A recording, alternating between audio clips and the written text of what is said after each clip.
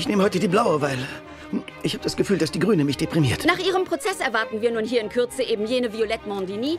Die wollen mir die Kinder wegnehmen, weil ich angeblich nicht richtig für sie sorgen kann. Meine Familie ist für mich mein Ein und Alles. Mein Chef möchte Ihnen gern etwas vorschlagen. Nun, also ich habe es zu Wohlstand gebracht, doch ich habe nie die Zeit gefunden, eine Familie zu gründen. Ich mache Ihnen folgenden Vorschlag. Ich übernehme Ihre Schulden und dafür nehmen Sie mich in Ihre Familie auf. Typ ist ja völlig irre, echt? Der hat sie ja wohl nicht mehr Er alle. ist eben anders, wissen Sie? Man mietet sich doch nicht einfach eine Familie. Solche Ideen würden zu diesem reichen Spinner passen. Wie heißt der noch, der sich wie eine Fledermaus anzieht? Batman. Die Betten stehen getrennt, aber ich mache die große Decke drüber, damit es wie ein Ehebett aussieht. Paul André.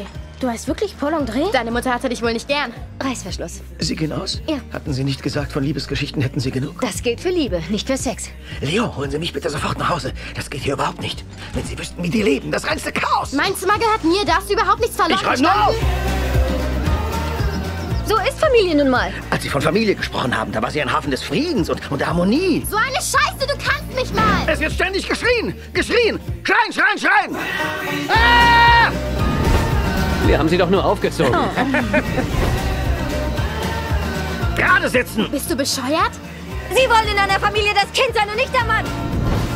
Sie geben die Regeln vor als Familienoberhaupt. Sie schlagen den Takt und bestimmen das Tempo. One, two, one, two.